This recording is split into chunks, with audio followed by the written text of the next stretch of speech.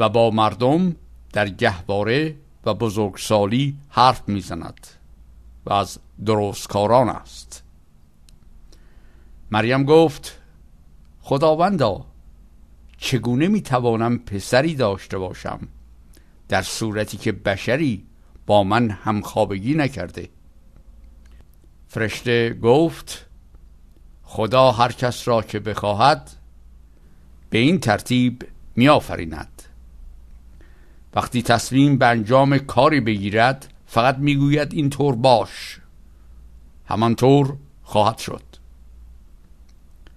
خدا به او کتاب و حکمت و تورات و انجیل را یاد می دهد و رسولی برای بنی اسرائیل می باشد به آنها می گوید من آیهی یعنی معجزه‌ای از خداوند شما برای شما آوردم. من از گل به شکل پرنده درست می کنم و در آن میدمم و به فرمان خدا پرنده ای می شود و کور مادرزاد و پیس را شفا می دهم و مرده را به فرمان خدا زنده می کنم و شما را از آنچه می خورید و آنچه در خانه هایتان ذخیره می کنید با خبر می کنم اگر افراد با ایمانی باشید در این کار برای شما نشانه ای وجود دارد. و تصدیق کننده توراتی هستم که پیش از من است.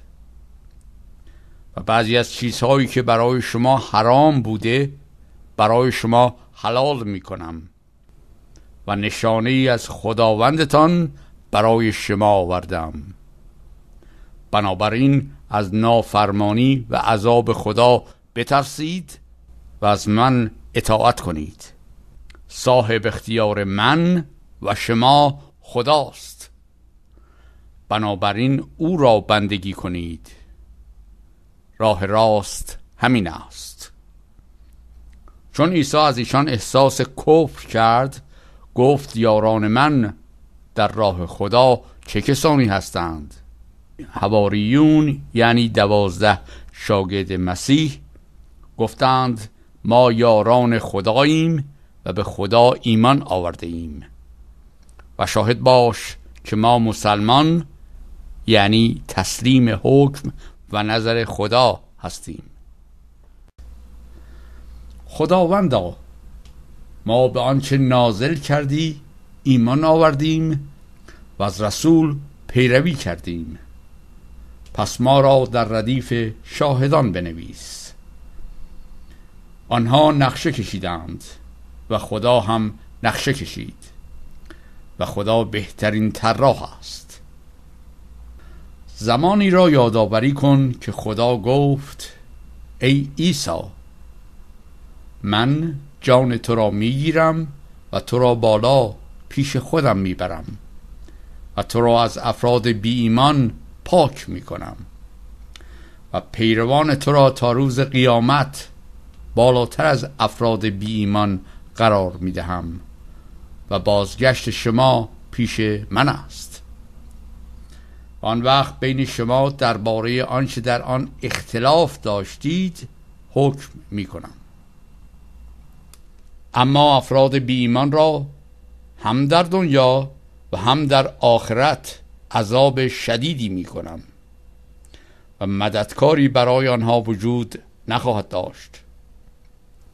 اما افراد با ایمانی که کار درست کردند پاداششان را به طور کامل به آنها می دهم. خدا کسانی را که ظلم می کنند دوست ندارد. این آیات و تذکر حکیمانه است که بر تو می‌خوانیم.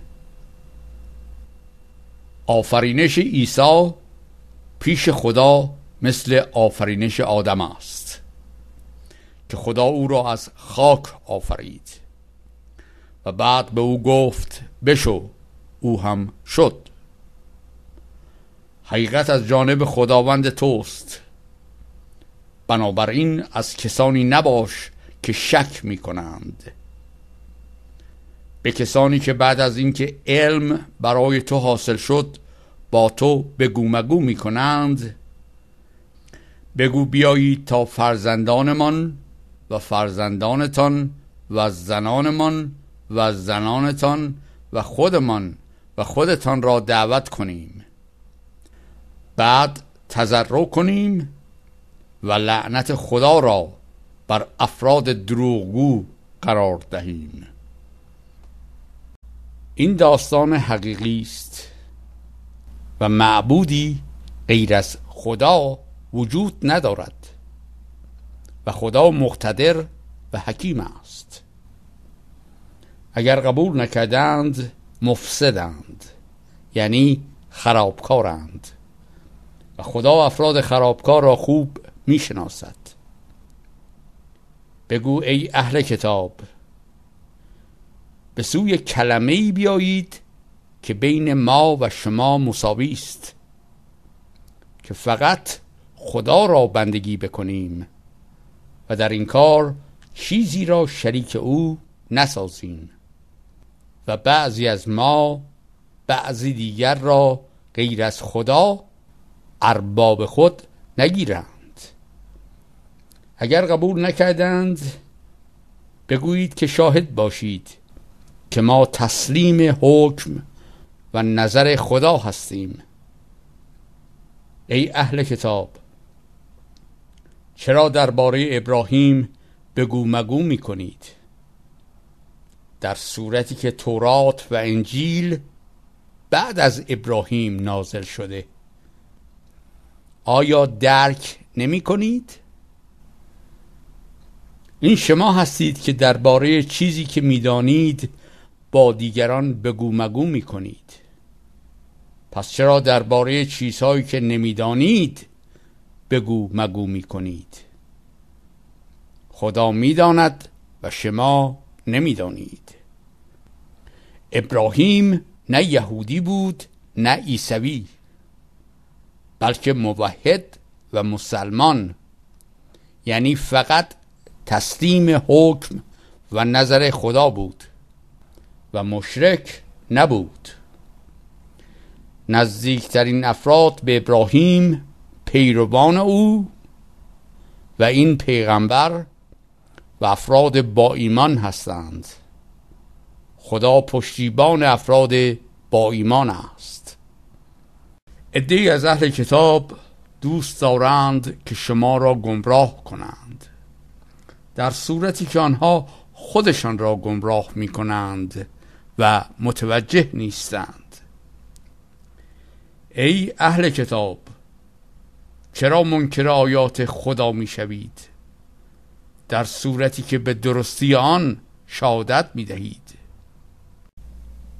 ای اهل کتاب چرا حق را با باطل مشتبه می سازید و در صورتی که حق را می دانید آن را مخفی می کنید ادهی از اهل کتاب گفتند در آغاز روز به قرآنی که به مسلمانان نازل شده ایمان بیاورید و آخر روز منکر آن شوید تا مسلمانان از ایمان خود برگردند.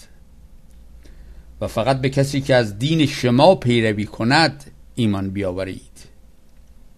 بگو هدایت واقعی هدایت خداست. یعنی باور نکنید که به کسی همانند آنچه به شما داده شده داده شود. وگرنه پیش خداوندتان با شما به گومگو می کنند